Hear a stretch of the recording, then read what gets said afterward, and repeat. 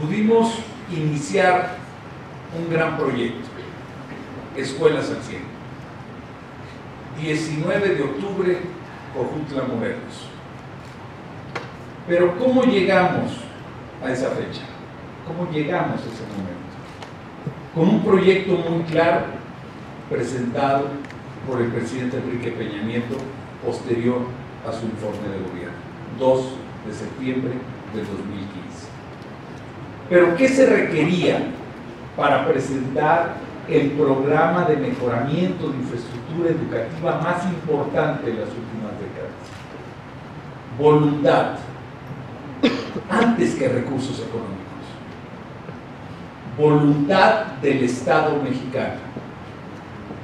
No era solo una misión del gobierno de la República, independientemente del instrumento jurídico que nos lleva a concretar escuelas al cielo.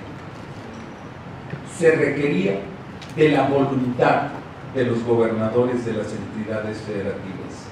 Ese es el gran hecho del 19 de octubre del 2015 en Cojutia, Morelos. No solo el respaldo y apoyo a la reforma educativa, sino el entender, el comprender que la reforma educativa sí es una educación de calidad. ¿Cómo? Con dignificación de los planteles donde se imparte la cátedra. En un nuevo esquema de modelo educativo que se está trabajando en todo el país. Debo de reconocer, y lo hago de manera pública, el apoyo incondicional que hemos recibido el Ejecutivo Federal del gobierno del Estado de Michoacán. Y en especial del gobernador Silvano Aureoles, quien ha sido una persona en la que nosotros hemos depositado una gran confianza para trabajar de la mano en la cumplimentación de los ejes de la reforma educativa, del nuevo modelo educativo, y en el que nos toca trabajar en la parte tangible, en aquella que se siente, que se vive. ¿Qué requeríamos? Recursos económicos. ¿sí? Y con un instrumento muy novedoso se logra insertar sin que se considere deuda pública ni para el gobierno de la República ni para los gobiernos de los estados, la posibilidad de colocar certificados de infraestructura educativa nacional que no implica de manera alguna compromiso ni de la comunidad escolar ni de los gobiernos del Estado mexicano. Un instrumento que busca obtener 50 mil millones de pesos en tres años para atender a 6 millones de alumnos, que eso es en lo primero en lo que estamos pensando, en 33 mil planteles educativos. ¿Qué tenemos que hacer?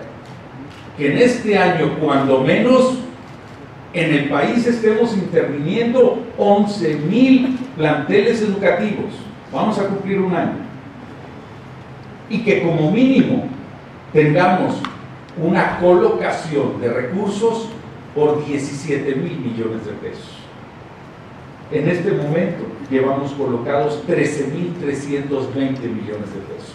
La mente está cerca. Pero lo más importante es que esto se traduzca en beneficio de los planteles educativos.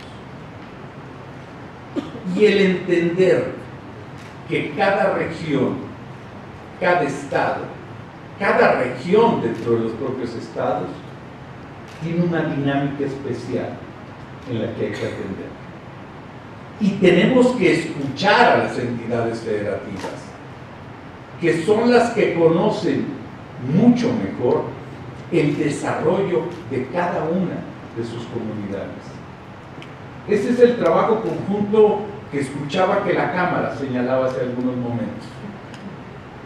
Debemos de pensar en que este es un ejercicio de una triple hélice, en la que el gobierno como Estado mexicano es rector y ejecutor. pero que requiere de dos brazos fundamentales. Empresas de cada una de las localidades que ayuden a generar un mayor dinamismo económico